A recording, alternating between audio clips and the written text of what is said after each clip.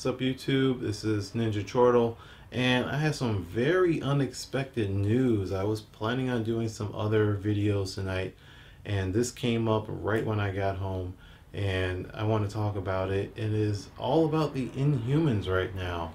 So what happens in case you missed out is uh, last night, because uh, I'm posting this the next day, uh, Marvel.com they posted an article stating that there is going to be an Inhumans TV show on ABC and it's going to be premiering next year, next uh, late summer of 2017, around September.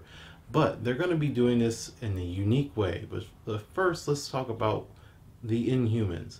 Uh, this is actually the Inhumans. So our, we have had already on Agents of S.H.I.E.L.D again an ABC show. It's going on for a few years, and they've already put Inhumans in the show. The last season of Agents of Shield.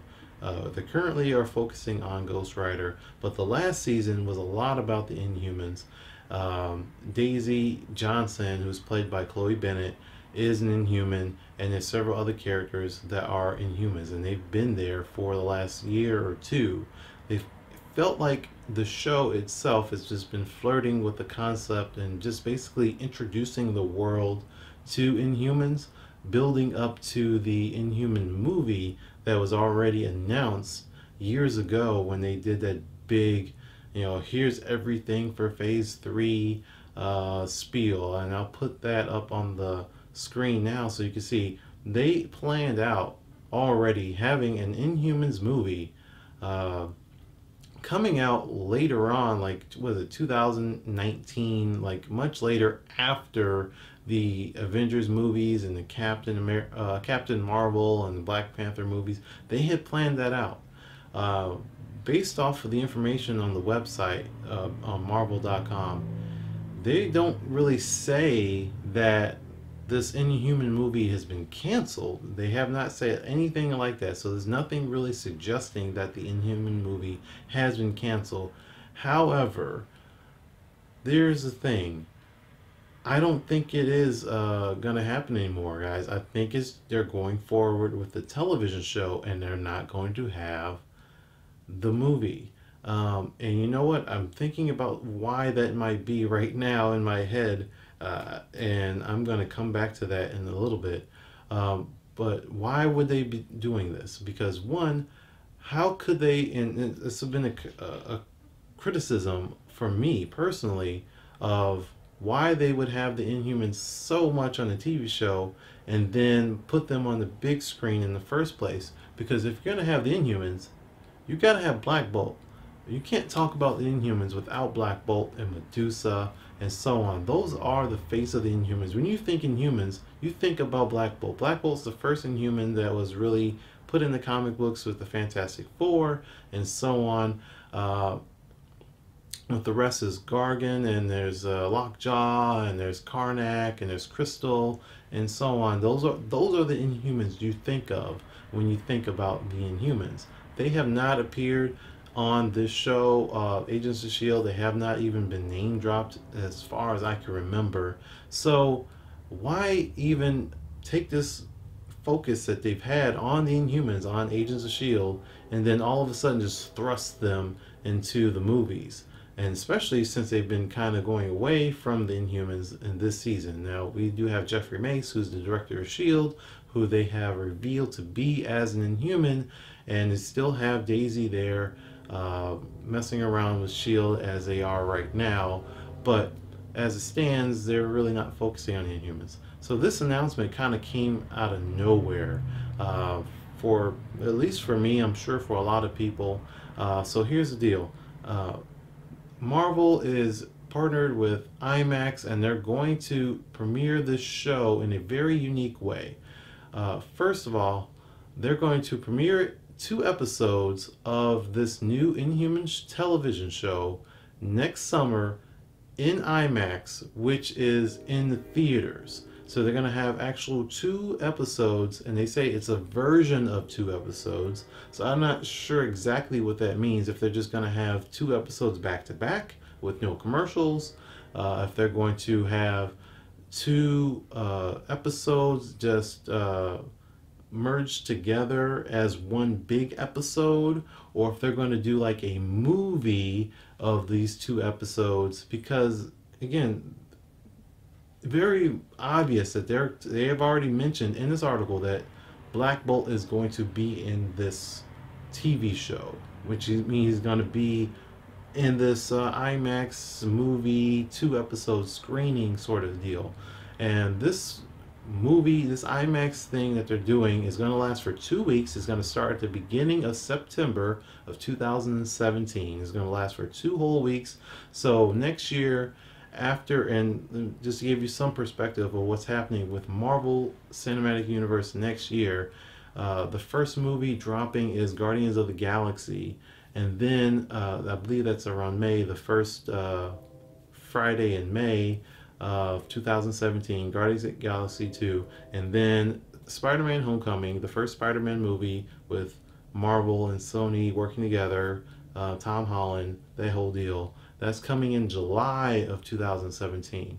So right after that, we have this Inhumans two episode movie going to IMAX theaters that you're going to watch for two weeks uh, to get you ready for the show. The show, it'll these are actual episodes from the show, the first two episodes, going to be in IMAX, and then the rest of the uh, series will be on ABC for you to view in the fall of 2017. And then Thor Ragnarok comes out later in the year, uh, around this time, November of 2017. So that is right now what uh, 2017 is looking like for Marvel. Okay, that's a whole lot. And let's go back into the Inhumans. Uh, so this is this is weird. Again, they're for sure having Black Bolt there. That means it, if they're gonna have Black Bolt, they're gonna have Medusa, they're gonna have Gorgon, and the whole deal. This is going to be on television, and that it would make absolutely no sense at all for them to do this.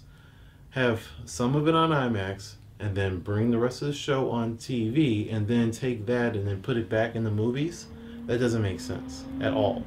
It never made sense to me to begin with that you would take Daisy and put her on a show and talk Inhumans and humans all the time on Agents of S.H.I.E.L.D. and then thrust her into the movies. I mean, Chloe Bennet, she's a great actress. I love her. And she could totally be in the uh, movies, and I would love to see her. But it didn't make sense to me uh, movie wise to take one character out of the TV shows and put them into the movies and then bring them back and put them in the TV and have her be in both. I mean, it would it would be awesome, honestly, and I'm sure she would probably welcome that work, but it would kind of be awkward to me in a little bit, just a little bit, that they would do that. Um, however, there's still Coulson, and, and, it also weirds me out that they haven't put him back in the movies. Uh, I don't know if that's just because Agents of Shield is done so well, and that's that's one weird weird thing and one great thing about it. Remember years ago when Agents of Shield first debuted? It was the first Marvel produced television show. Uh, it was the first cinematic universe television show. Is the first thing to bring this whole idea of it being all connected and it being on television and how terrible it was. It was it was an awful show. The first season of Agents of Shield was bad and people did not watch it. Uh, I did though. I stuck around. I watched the entire, you know, every episode. I haven't missed a single episode, and a lot of people abandoned this show early on, and I stuck with it. And I'll tell you this: if you're if you're still skeptical on Agents of Shield, it's significantly better than it was. And if you wanted to go back, I will tell you right now that the first, uh, the second half of the first season uh, pretty much the episode where Sif came in and did a cameo, and with Lorelei, I believe her name was the sister of Enchantress. Um, that episode was good, and everything else for the rest of season one was pretty good.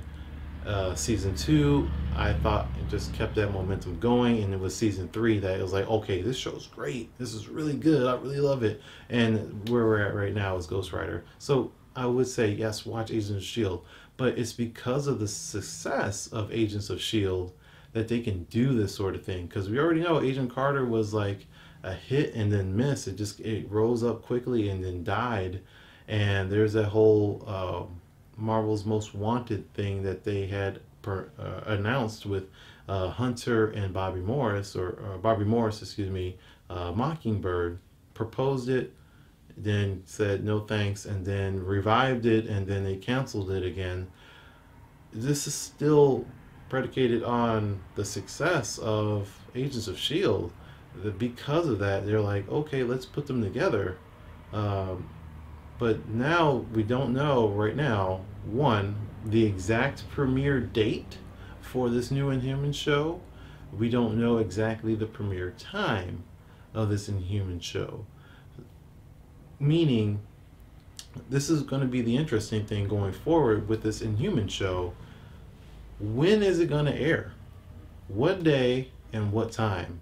Because this season of Agents of S.H.I.E.L.D., they put it back an hour later so that it's at a more of a late night show and they've been able to get away with a lot more things like having such great violence with the blood and the people burning to death because of Ghost Rider, a little bit more mature language and themes that they couldn't do before at their earlier slot. That was a move, that's why they moved to a later time slot so they can have a more serious show and still have some of the lighthearted bubbliness that Agents of S.H.I.E.L.D. fans love, but take on serious material like Ghost Rider and him taking vengeance out on all these gang members and killing people. Something that they couldn't really do. That's why they had so many icers and people being stunned with stun guns and stuff like that before. Now they're using like actual bullets and people are burning to death and demons are being cast out and stuff like that. Like that that's what's happening right now in Agents of Shield. It's gotten real serious. So with Inhumans, they can go about this so many different ways. They can have a Marvel night where it is Tuesday night, you get Humans first and then Agents of S.H.I.E.L.D. afterward, and they can keep their Ghost Rider and keep mature stuff. Or they can flip flop them, still have the same night, and have Agents of S.H.I.E.L.D. go on earlier, and they go back to that, that earlier slide, and it's not as serious because maybe Ghost Rider isn't around next season. Um, and then have the Inhumans afterward and have them have that mature slot. We'll see. Or they can have one on Tuesday night and one on Wednesday night or one on Thursday night or something like that. Uh, we don't know anything right now. This is brand new information. So, why is this happening? It's really hard to say, and this is the point that I was thinking about just right now. Um, one of the reasons why they might be moving this Inhuman movie out of the cinematic picture is because of possibly, and I'm I'm praying, wishing, hoping, praying that some of the talk, some of the rumors, the things that have been going around that I haven't addressed yet um, in any of my my videos, uh, is that the X Men could be coming to the Marvel Cinematic Universe.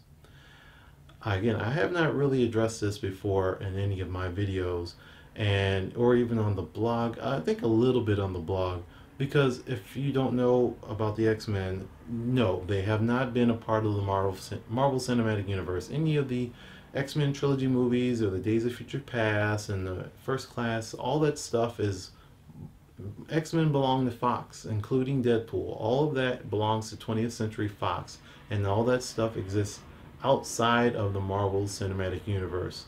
That's away from the Avengers. They they have no relation at all.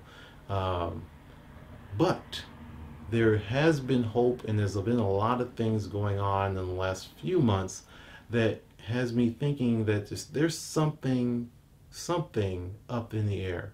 And one of those things is, first off, in the comic books, the X-Men comic books have been pretty trashy lately, and I'm a huge X-Men fan. I read them all. I love the X-Men no matter what, but I will admit the comics aren't all that great. And the things that have been going on they've been killing the, the mutants by way of the Inhumans. They're replacing uh, the spotlight of the X-Men because they used to be like top tier popularity comic book characters And because of this whole situation with the movies where the Marvel does not have the cinematic rights to them, they've been going down in popularity because Marvel hasn't been focusing on them. They haven't been doing things that have put them in the spotlight. When there's these big, massive events, the X Men aren't involved. There are even promotional posters, which is like the most ugh, heart crushing thing. If you look back at, say, I think and I'm I'm just guessing the years right now, but I'll probably put it in the video. There's an old poster of all of the Marvel characters, like everybody from the Hulk to Wolverine, the Fantastic Four, who also have the cinematic rights with 20th Century Fox.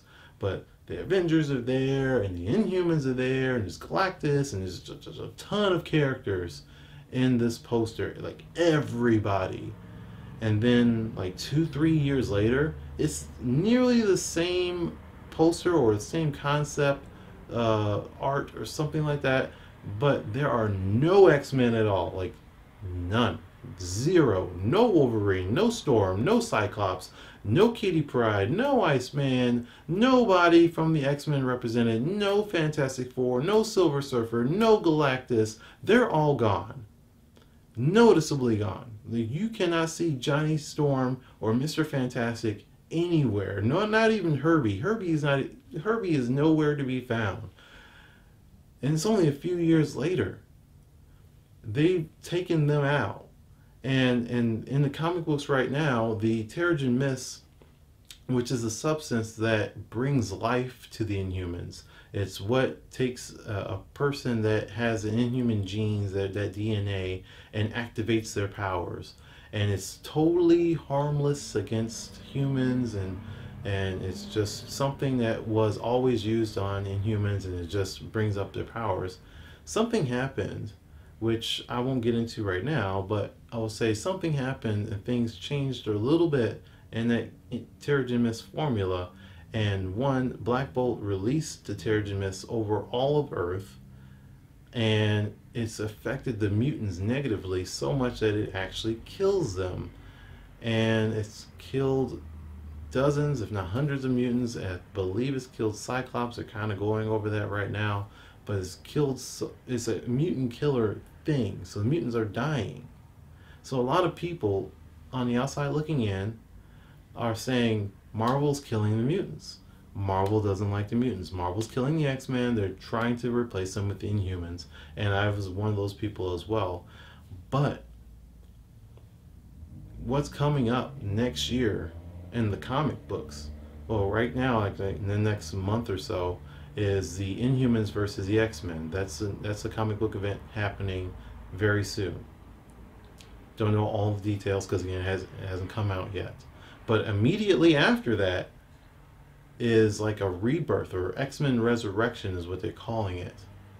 And they're bringing back, we don't again know all the details, but they're bringing back the X-Men Gold and Blue teams. They're bringing, They're having a, a, a Iceman series. They're having a Jean Grey series. I believe they're having a Cable series and the Generation X series. We haven't heard Generation X in, in eons. Like that stuff is coming back next year in 2017. Um, now, away from the comic books, this summer at San Diego Comic Con, they already announced that they're going to have a Legion uh, TV show on FX, which is in conjunction with ABC Studios. So Marvel is working with 20th Century Fox to make an X-Men TV show on TV. You know, they're working together and they're saying that this show is in canon with X Men and Marvel. That show, the Legion TV show, that's it's actually happening, guys. That's coming out sometime next year, I believe. There's also another TV show that the X Men are going to have coming out at some point. They're still working on it, but I believe it's focusing on the Hellfire Club. If I remember off the top of my head, I'll, I'll put that on the screen or whatever it is if I'm if I'm wrong. But there's another show that they're producing that is in the X Men realm that Marvel's working with 20th Century Fox to make. So, Marvel and eh, the 20th Century Fox have been and are working on something together. Could this possibly mean that they are actually going to bring the cinematic rights to the X Men to the cinematic world of Marvel and have them have a movie coming out in 2019 to replace the Inhumans? And put the Inhumans and have them just be on TV and with occasional maybe Black Bolt pops up in Infinity War or something like that, but have the X Men come afterward.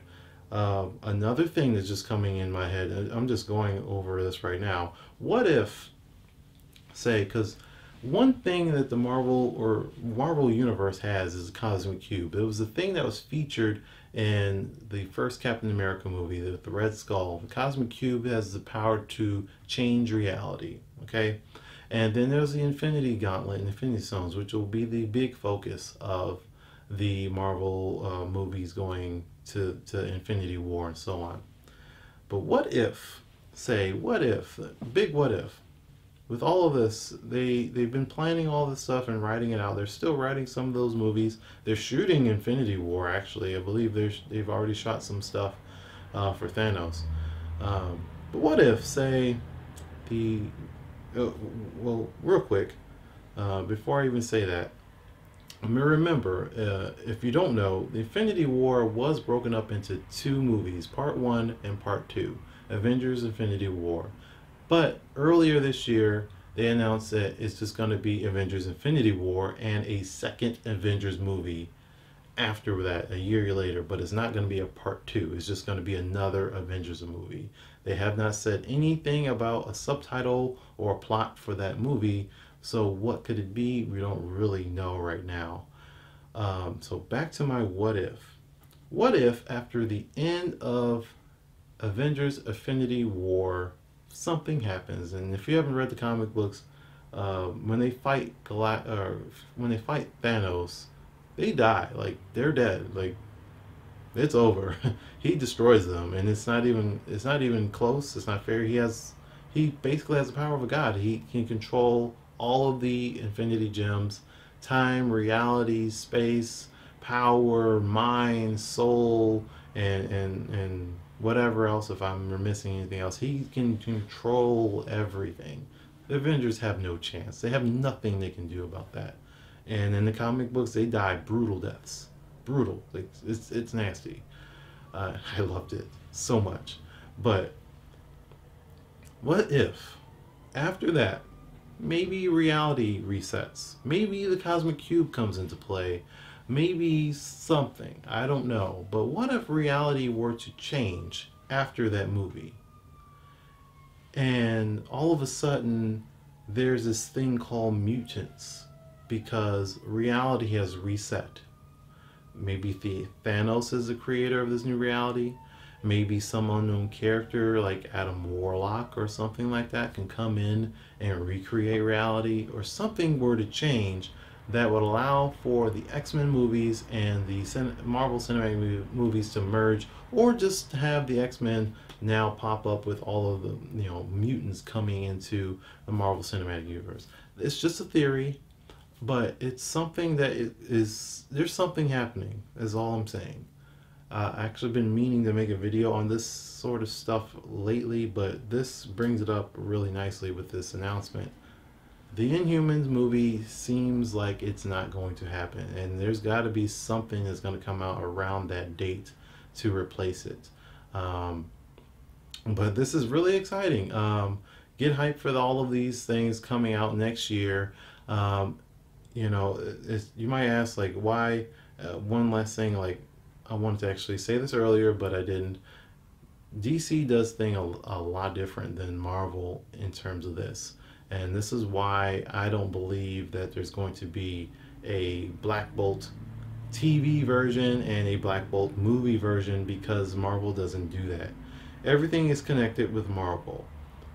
With DC, what they've done is they have a Flash that's going to appear in the movies and going to be in the Justice League and there's a Flash that's already in the TV shows, and those are two separate characters, they're two separate people, and they have nothing to do with each other. They're in two different universes.